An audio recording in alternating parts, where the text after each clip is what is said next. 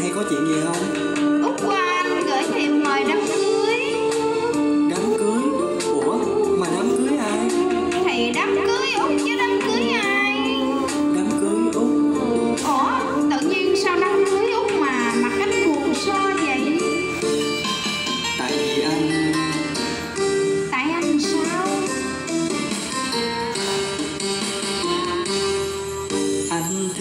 thương út lâu rồi mà anh anh không dám nói. Để nay út bước theo chồng chồng, anh thấy buồn hiu. Chiều chiều ra đến bờ sông, nhìn con nước rộng nước lớn. Liêu xiêu bên lỡ bên bồi, còn ai ngồi giặt áo đâu mà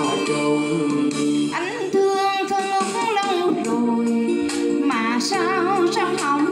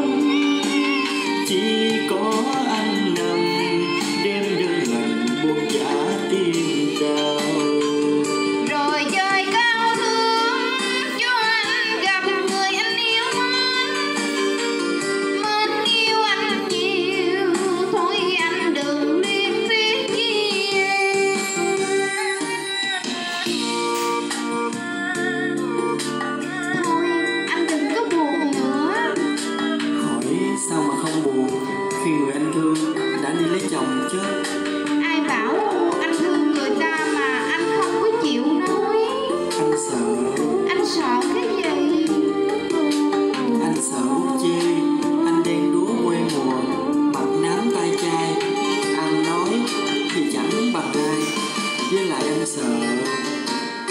Út chi nhà anh nghèo Cho nên Nên anh anh thương thương út lâu rồi mà anh anh không dám nói.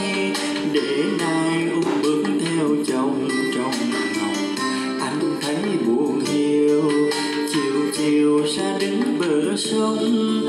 Nhìn con nước rộng nước lớn, liêu siêu bên lỡ bên